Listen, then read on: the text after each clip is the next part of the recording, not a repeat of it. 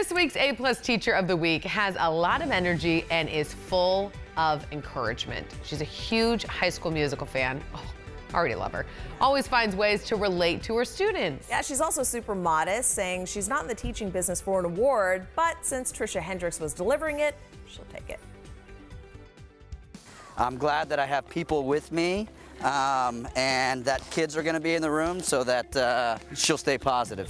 yeah. Horseshoe Trails Elementary School Principal Aaron Pettinato surprises Deb Fibus. You've been nominated and honored today as the 12 News A Plus Teacher of the Week. This is her last year of teaching fourth grade, and she's retiring at the end of the school year.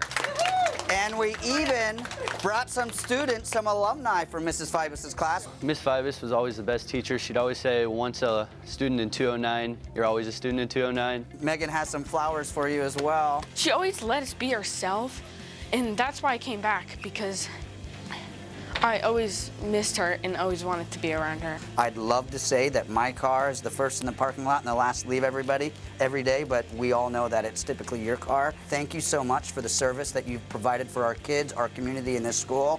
Um, you're, you're, irreplaceable. Seriously, it is not about me. I am. It's a nice thing. I love flowers and I like a plaque. Um, but I really have to say, as these students will tell you, um, it's really about them. They. It is amazing what they do every day. It is seriously about them. And so I'm just happy to uh, get to be a part of that. Thank you. When you walked in, I saw the principal. I thought I might be in trouble.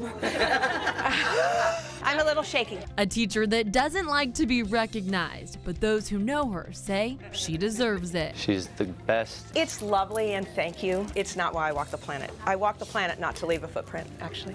In Scottsdale, Trisha Hendricks, 12 News. Oh, I love it. Well, if you know an A-plus teacher who deserves to be recognized, be sure to email us your nomination. Include the teacher's name, school where they teach, and why he or she should be recognized. Don't forget your contact information. The email is connect at 12news.com.